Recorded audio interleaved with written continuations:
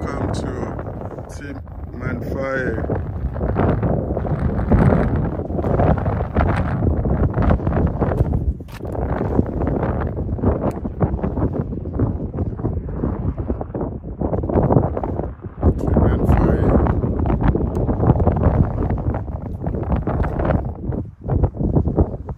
You can see plenty of evidence here of the fact that uh, this whole island was uh, created as a result of volcanic eruptions. You can still see almost fresh evidence of that hundreds of years ago.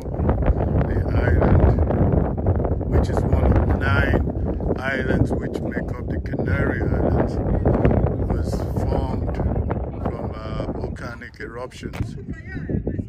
Canary Islands, uh, one would think the name derives from the bird, the canary. No, it actually derives from a breed of dogs uh, called Canarios. Uh, so that's just a little uh, tidbit. You can see all of the still remaining volcanic ash. If you come here to visit, uh, there is a, an admission fee uh, right there uh, to be able to get in. Uh, I don't think I'll be paying to go see uh, volcanic ash.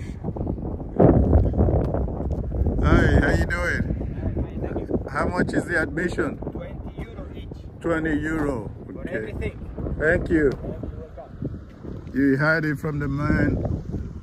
You have to pay 20 euros to see this volcanic ash.